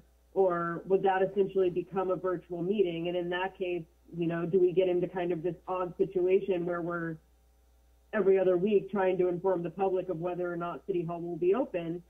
Or does this now mean that there always needs to be at least one council member there and City Hall will, will now always be open? I think that's something we should also clarify. Um, but I, I do agree with, with, um, with Vice Mayor Keiser and Councilwoman Brooks that I think it's up to each person individually to determine what they're comfortable with at, at any given time. Um, I, I personally would, you know, for the most part, and, and not knowing the circumstances of any given day, be happy to, to return as one of the three uh, if I'm not uh, ill or, or potentially been exposed to. But I think everyone should have the opportunity to make that decision for themselves. Councilmember Bertrand? Yeah, um, for the RTC, we just decided uh, through staff help who would like to do it. And um, I forgot how many's on it, but um, not many people volunteered. And, you know, so that's basically it was easy to get to five. Um, but I, I agree with uh, Councilwoman Brown that it, it could present some issues in terms of, you know, needing to be on the phone. It was initially accomplished with just a, an email to everyone, and those who were interested responded. And um, that's how it eventually got five. That's my only comments. Um, yeah, I, I'm strongly in support of a hybrid. Um, I don't know if we need a policy, but it does give guidance, and um, sometimes that's good. Uh, but there's a lot of people who are, you know, when I walk around, they ask me, when are we going to get back to meetings again? People want to be before us and be able to present what they um, feel on an issue. It's, it's actually very important. And to some extent, we, I believe, lost a lot in those two years. I mean, there's a reason why. I'm not saying we did the wrong thing. We did the right thing because we had to combat um, COVID. And um, so definitely that. But people are really wanting to speak before us, and um, that's part of our democracy to have that forum. So that's why I'm for the hybrid meeting. Thank you. Yeah, Councilmember Brooks? Yeah. Yeah, I'd, I'd be interested in hearing council members' thoughts on what the county supervisors currently do. They have at least one, you know, they always have one person there on the dais. Um, and so I'm curious whether council members would be interested in saying at least one, no more than three until the pandemic goes away. I don't know if that's realistic, but it's never going to go away. But something of that nature. So we're kind of, it's that middle ground. Um, I don't know, thoughts on that? I if I may chime in uh, this and um, I guess what I hear is a lot of questions and proposals and ideas being thrown out, which to me screams for the need for a policy.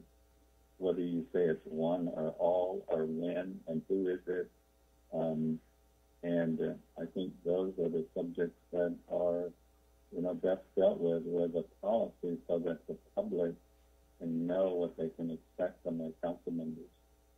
Um, and so um, I think just to leave it open-ended um, will probably mean, uh, you know, who knows? I mean, somebody's going to, in order to make it work, yes, there would have to be a commitment that at least one council member will always be there. Okay? Um, and I, you know, since I'm the mayor, um, I would feel that it felt on my shoulders to be there. Um, and so that, you know, right, that, you know, the public can you know, and, and address us directly, but they wouldn't be, I mean, um, because um, some council members and would still be in Zoom. Um, that's why I think that it necessitates some kind of policy so that we can, I think, meet the public's expectations and their council members. As, as to what Jacques mentioned, yeah, that's what I hear from the public as well. They want to know when we're going to be back. Um, so, and to me, the only way to make that work fair and equitably is to have some established um, expectations uh, from council members. You know, the expectation used to be that you were always there at the dais um, and you always voted, um, and um, and that the public can see do that um, because um, that's what they wanted from their council members. Um, and they want to be able to talk to us in person, look us in the eye. And there's a lot that gets missed when you're on Zoom only. Um, so, um, now with all that said, I, I agree with Councilmember Brown, and because the numbers are, are high now, and we don't know what they're going to be in August, I think that we do need to um, start um, with, you know, maybe just three of us and have some distancing also in the auditorium. Um, I also think it's going to be necessary to actually be back there and see how it works. I mean, I I have difficulty even coming up with policies when I'm not there and I don't actually know, you know, um, how it's going to work, how the hybrid technology is. Um, I don't have any experience with it. Um, well, limited and, and very good, but and so it's you know some of the, um, I think guidelines are uh, may fall into place after we have experience with it. But um, even starting out, I mean, if we're only going to have three, I think that we should at least come to some understanding of, well, how, how is the three going to be selected? Is it always going to be the same three? Or it sounds like it could be even less than three. So, um, but I'll leave that at the will of the, of the, of the rest of the council members. Um, and um, I will. I mean, I I plan on being there. Um, you know, from here until the end of the year. So I'll commit to you know being there as mayor in the chambers, um, and um, so that it can be a regular schedule of open council meetings. Um, and because I think it would be awful, we have to agendize this. We have to let the public know whether the city hall is going to be open or not. And so um, we should just commit to that it's going to be open, uh, you know, COVID permitting. I mean, I think that's, that's granted. I think that we should direct the staff to plan for, well, what happens if COVID gets worse? You know, we may need to push it back. And what metric do we use to do that? And I've always um, you know, we've always followed the county health protocols. Um, and I agree that if indoor mask mandates come back, we should not be going back into, you know, public meetings. And so I think at a minimum we should let, you know, direct staff to keep watching the numbers, keep watching what public health is telling us. Um, and, um, and if, and if it gets, um, uh, you know, uh, worse, that, um, you know, we should you know, we should probably maybe put this off further. But if the numbers improve, they they don't get worse, you know, yeah, we should um, I think come come back.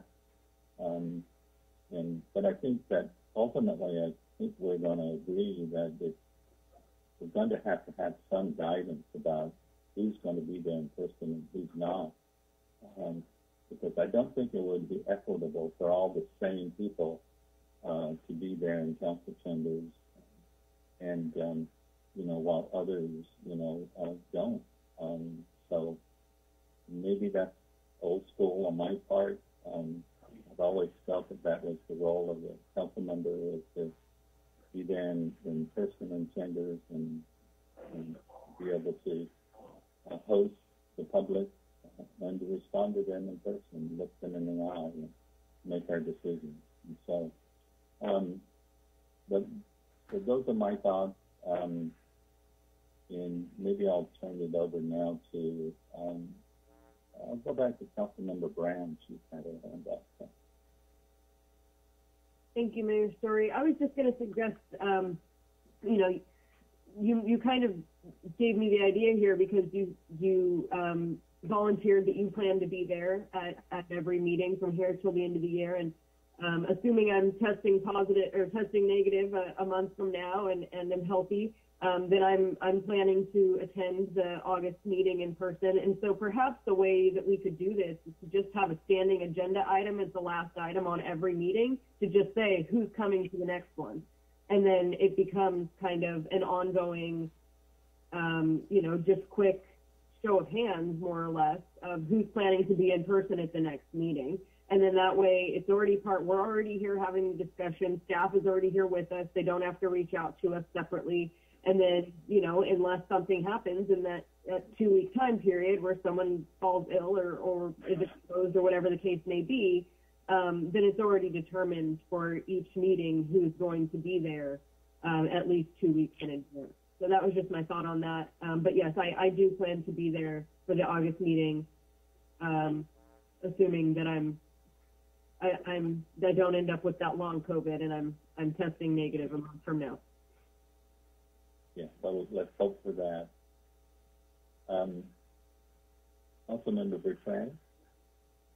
Yeah, I was, um, un- unless, um, Councilwoman, um, Keiser is still planning to make a motion, um, if you weren't, then Yeah, I I would can- like to make one. Well, just, um, uh, just, yeah, thanks, going back to Council, um, Vice Mayor Keiser's motion, I, I feel that that motion died for the lack of a second. Um, Okay, well, I- the floor is open for a new motion. Okay, I, I just wanted to ask out of courtesy. So I, I just like to make a motion that, um, we, we, um, send these ideas back to staff to develop a, um, a protocol or a policy that we address next meeting. And, um, we already decided to meet in August. And I like, um, uh, Councilwoman Brown's suggestion that, um, those who want to be at that meeting, uh, tell everyone now. um, or tell staff so that um, seating can be arranged. But the main thing is, my motion is to have staff come back with a, a protocol or a policy, and we could uh, entertain that. And the only thing about guidance there is, you've heard a lot, um, um, City Manager Jamie Goldstein, and and there's a lot of ideas floating all over the place. But um, over the years, I've seen that you've been able to craft excellent policy suggestions for us to debate. And I would like, in this case, to leave it up to you and your staff to do that.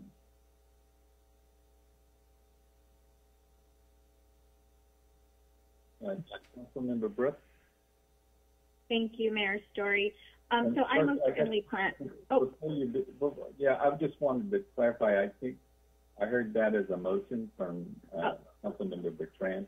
Yeah, that was a motion basically as um, City Clerk Chloe uh, introduced this discussion. Are we going to move ahead with the policy development or not? And uh, my motion is basically to have city staff do that. And that would be the basis for us to discuss the policy or protocol next time we meet. And um, I do plan to be there. And um, uh, Councilwoman Brown plans to be there if, if she's healthy. And, you know, others can determine likewise. I, I have no problem. And obviously, if you're not healthy, you know, please zoom in. Let me get, is there a second to the motion? I, I just have some, I need some, a little bit more clarification on that motion, Mayor. Storey. Good, yes, go ahead, Councilmember. Okay. Yeah. Um, I, I just want to know from council, because I, I plan as well to be there in person if able, um, except for this next meeting, the very first one in person, just FYI, Mayor Storey. Um, and my, my only question to council is, are we, in, if we give staff um, guidance and drafting a policy, are we in agreement that it would be just no more than three model? Um, and I think we haven't really come to that overall in terms of giving further guidance to, to staff this evening. So I'd be interested in hearing everyone else's input on that. And if I may, Mayor, um, Yeah, so, go, go ahead. yeah, um, so, um, Councilman Brooks, I totally understand where you're going. And, um, what I was proposing is that, um, City Manager, uh, Jamie Goldstein would take the things that we've talked about, and one of the points is yours. And so that would be part of the discussion. So the next meeting, we decide, should it be three or, you know, four or five, or, you know, something like that. So we determine at that point, um, what it would be. And, um, I have no I problem, with it, actually, but I think he would provide, or the city would, the staff would provide a framework for us to discuss these various points, including how many people would be there. I see. Thank you, Councilmember Bertrand. So what you're saying is that staff would come back with a few options Right. to council on a potential policy with all of our ideas. Yeah, because I've, heard a lot of ideas and I've heard a lot of potential options. And for us to go down all of those right now, I think would take a lot of time and we may not end up with the best product. But I am fully confident that Jamie and staff could come up with the options presented, as I've seen before, in a logical format so we could make a decision uh, piece by piece by piece, and then end up with a decent policy or protocol. Councilmember Brown? Thank you. Um, so I think, you know, I, it sounds like we are in agreement on quite a bit of this here. And so I think there is a possibility to come up with at least a bare bones policy tonight for the, for staff to bring back to us in August. Um, and so b- before I move forward, I think I need to clarify, um, if Councilmember Bertrand, if, if your motion, is, is that died for lack of a second now, or would I need to make a substitute motion? Um, no, Well, sec- you would no, need to make a substitute uh, if this motion doesn't get a second. So, Okay. yeah, I, I, I, let me There's just some- clarify, is, is there a second to something Councilmember Bertrand's motion? Seeing none, that motion dies for the lack of a second. okay. Councilmember Brown, you're free to go ahead and make any kind of motion you'd like. Okay, thank you. Uh, I would like to make a motion, um, that staff draft a, a very bare bones policy, um, with the requirement that there is at least one council member and no more than three, um, in person, uh, in chambers as we move forward with our hybrid meeting policy. Um, and that council members will, uh, decide, um, based on their level, level of comfort, if they will be joining in person or not. Um, I think it sounds like for the most part, we have all agreed at least to that, that we need one person, there shouldn't be more than three. It doesn't make sense to me for all five of us, or even four of us, to go back in August and then say, for the safety and well-being of everyone, there should only be three of us here. That, that kind of defeats the purpose to me.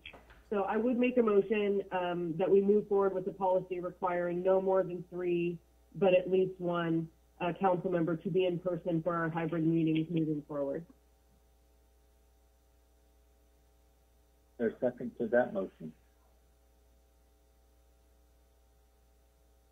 Ca- uh, Councilmember Brown, I would like to second, but did you say something about the attendance, the public social distancing? I don't know if you wanted to add. Yeah. Thank you for that reminder. Yes, let's add that to the policy as well, that um, there be social distancing in the public um, aspect of, of chambers. Um, I don't know if we want to decide right now if we want that to just be every other chair or if we want to go as far as the six feet of social distancing the way it, you know, that it previously was, was required, if, if council has thought on that. Or if, um, you know, we just want to give direction to staff right now that there should be some kind of social distancing in the chambers and then they can return to us uh, in August with information about, you know, what, what the capacity might look like in the room with different kinds of social distancing. Um, so for now, I would just say, yes, I'll add to the motion that there would need to be some kind of social distancing amongst um, members of the public. And the agenda? What about? to add that last agenda item as a standing agenda item on who's going to show up. Did you like that? I, I like that. I'm not married to it. I think the most important part to me right now of this motion is determining how many people can be there and how many people need to be there. The rest of it about social distancing in the audience, I think is something that we can figure out the details of when the policy comes back to us. If the rest of the council thinks it's a good idea to have a standing agenda item, um, I'm happy to put that in, in the motion. If not, I think it's also something we can just you know, tell staff that that would be a good idea to do without it having to be in our actual policy. Okay, I'd like to second Councilmember Brown's um, motion of the one three model um, of three council, um, no more than three, and at least one council member being um, in person for our future council meetings, as well as creating a social distancing um, protocol for chambers. Um, I, would like to second that motion. Okay, we have a motion and a second. Um, is there further discussion on that motion? Yeah. Um, so there, there's quite a few items that were brought up that people felt were important. Um, the one that Sam brought up that I thought was important was um, uh, a rotation of some sort. Like if we all wanted to be here, but you know, basically we're deciding one or three. Um, we need some way to decide, you know, who's going to rotate in and who's going to rotate out. So we're going to have to get some sort of protocol there too. Um, Councilwoman Brown, do you have a suggestion to add into that?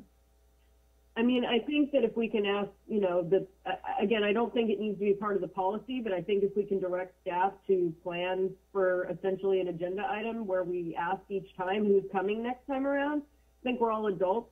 And, you know, if I was at the meeting in person in August and then the next time there's four people that want to come, then I'll step back. And if there's not enough people showing up and, and I haven't been to the last couple meetings, then I will step in. I think being able to step forward when necessary and step back when necessary is something that we as adults and council members should, should be able to know how to, to handle. Um, as long as there's a place on the agenda for us to have that discussion at the end of each of our meetings, I think we're going to be fine.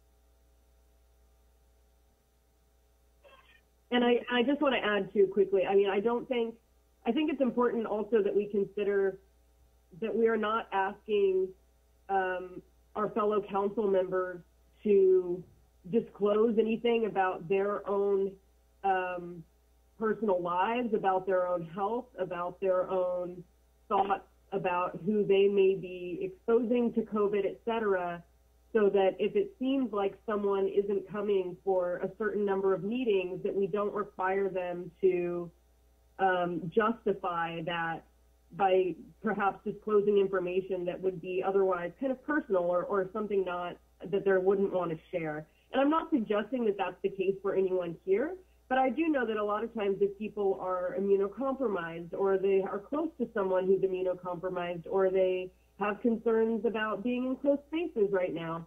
Um, that that's not always something that is comfortable sharing with, with others. And so I do, um, I, I trust in us as a body to be able to negotiate this amongst ourselves in a way that those who want to show up in person will be able to and have the space to, and those um, that don't um, won't won't have to, but hopefully will feel comfortable doing so at, at some point. I, I do have faith and, and trust in us to be able to navigate this kind of conversation as we move forward.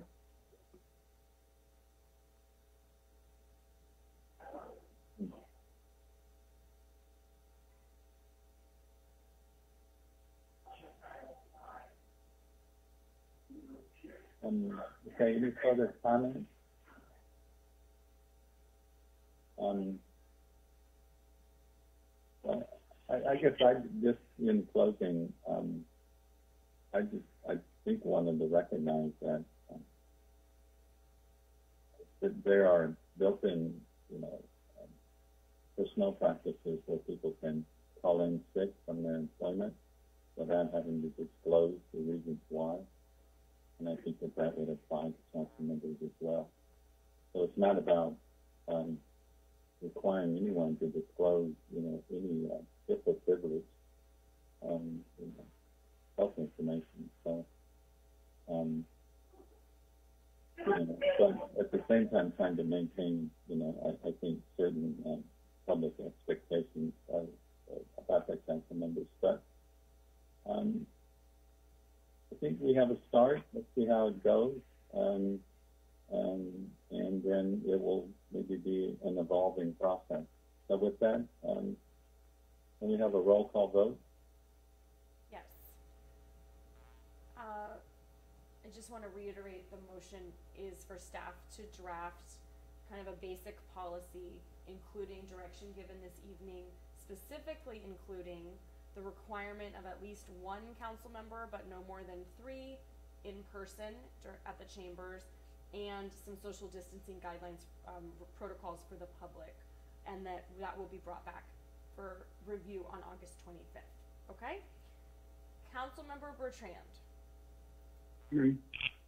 Councilmember Brooks, Aye. Councilmember Brown, Aye. Vice Mayor Keiser, Aye. and Mayor Storey. Aye. Motion passes unanimously. We'll move on now to item eight C, um, which is to amend the fiscal year 2022-23 city fee schedule. Um, the recommended action is to adopt the proposed resolution amending the fee schedule for fiscal year 2022-23. And before we begin, Thank you, Mayor. Sorry, sorry, guys. I have to recuse due to my employment at Paradise Beach. The fee schedule is um, incorporated with the outdoor dining policy. So, thank you.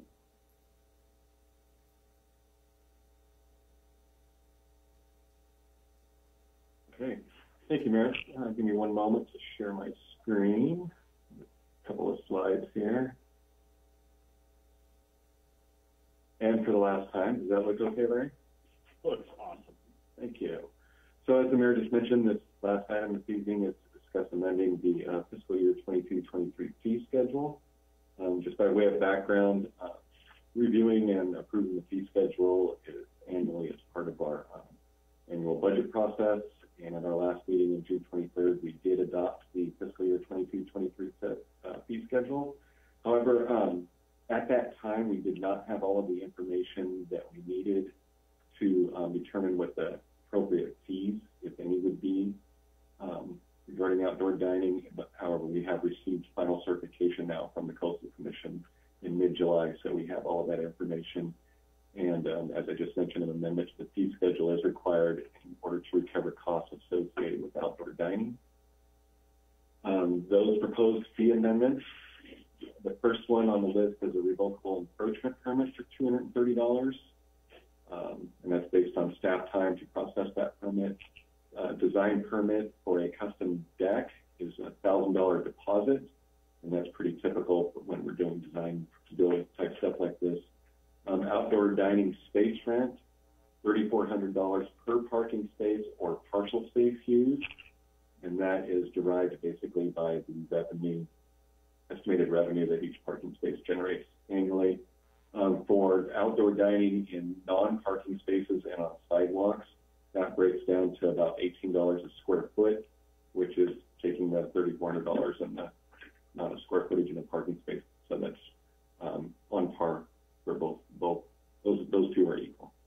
And then the final thing is I'm requiring a uh, maintenance deposit to ensure that the restaurants participating maintain the, their spaces up to standards and the uh, recommendation is $500 for sidewalk and non-parking spaces, $1,000 for um, if you occupy one or two spaces, and 1,500 if you're at three to five spaces. And our recommendation this evening is to adopt the proposed resolution in the agenda packet amending the fee schedule for fiscal year 22-23. And with that, I'm happy to take any questions. Any questions on the fee schedule? I see none. Um, Jim, I had a question. Um, concerning the parking spaces. This is on page one fifty-three.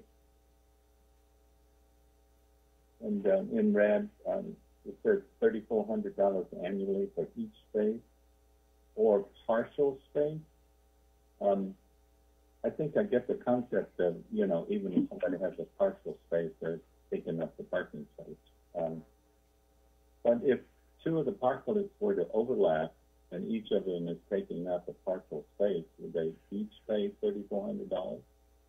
No, um, we would prorate that based on, if it was, for example, a 50-50 split, they would just pay half. But we would figure out the square footage that each, occupies and apply the eighteen dollars if they were splitting a parking space like that. Okay, yeah. I don't know if you could codify that in the, in the ordinance, so people know, but, um, it does seem like they could each be charged, um, you know, the full thirty-four hundred dollars. Yeah, I, I don't think, um, unless it changes through, as we go from temporary to permanent, the way it's set up right now, we don't have anyone sharing. I don't think we have anyone using partial spaces. I think we have some non. But they, this kind of came about as somebody tried to suggest cutting into a space to draw a straight line for their dining area, and we lose that space. But, um, there are opportunities, I think, especially on San Jose, where they could combine those and possibly share that cost. Right, okay. I think it would be good to affirm that with them and so they know that they can maybe, you know, save on their costs. Um, but that was my only question, Jim. Um, and seeing no other questions, I'll go out to the public now. Um, to see if there's, if any member of the public wishes to address the council, raise your hand in Zoom. Um, or you could, um, call in by dialing star nine. Mayor Storey, I do not see any attendees with their hands raised for this item, and we have not received any emails on this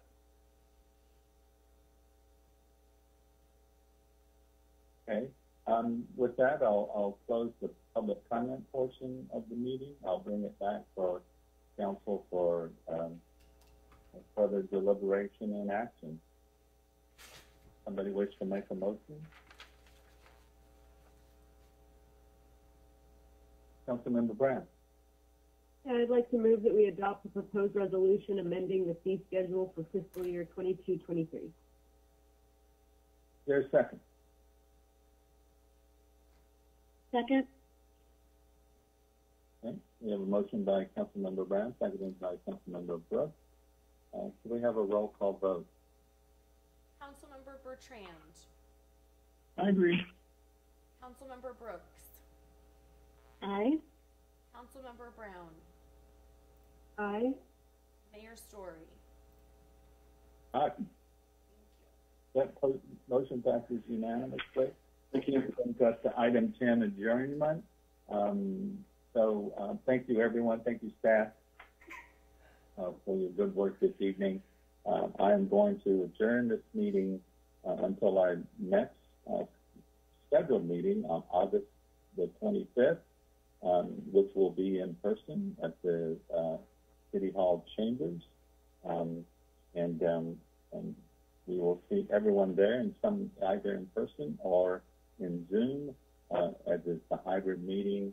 Um, and, um, Larry, farewell. Um, we will miss you. Um, and to everyone else, um, be kind to yourself and then pass it on to everyone you meet. All right. Good night, everyone. Bye, Larry.